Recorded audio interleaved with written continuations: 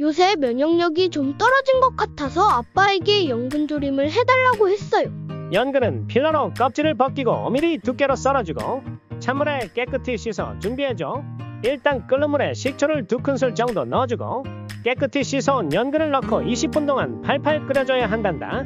끓인 연근을 찬물에 두어 번 씻어 준비해주고 팬에 기름을 세 큰술 정도 두르고 3분간 연근을 잘 볶아 골고루 코팅을 해줘.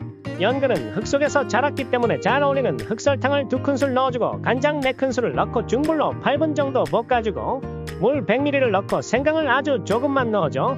아빠 생강은 왜 넣는 건가요? 먹고 나서 또 생강나라고 넣어준단다. 이제 무릇을 6큰술 넣어주고 10분간 더 졸여준 후에 통깨만 뿌려주면 맛있는 연근조림 완성이란다. 연근은 혈관 건강 개선에 좋고 칼륨이 풍부해서 고혈압 환자에게도 너무 좋은 식재료입니다. 또한 연근은 예전부터 호흡기 질환을 치료하는 약재로도 사용되고 있는데요. 기침과 감기 증상 완화에 도움이 되고 천식 치료에도 효과가 있다고 하니 많이 드시기 바랍니다.